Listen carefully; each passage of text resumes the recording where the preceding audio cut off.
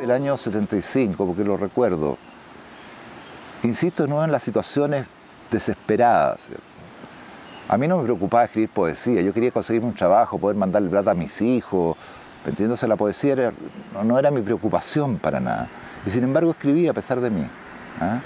Eh, de pronto tuve como, una idea de algo que tenía que hacer.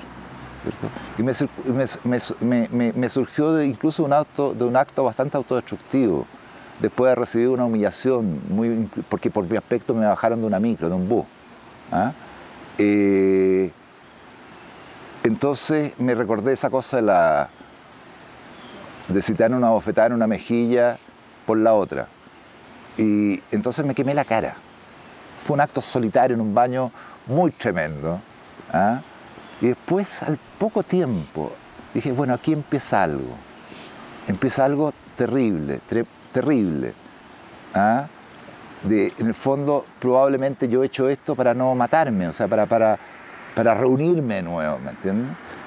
Pero esto deberá concluir algún día con una especie de vislumbre de la felicidad. Entonces ya no será necesario que yo mismo me dañe en un mundo que están dañando a tanto, en un país que están dañando a tanto, sino que escribiremos sobre el cielo y sobre el desierto y tendremos al final, ojalá, una mirada mínimamente esperanzadora sobre el sueño y sobre una felicidad posible. Y eso fue lo que terminé exactamente el 93.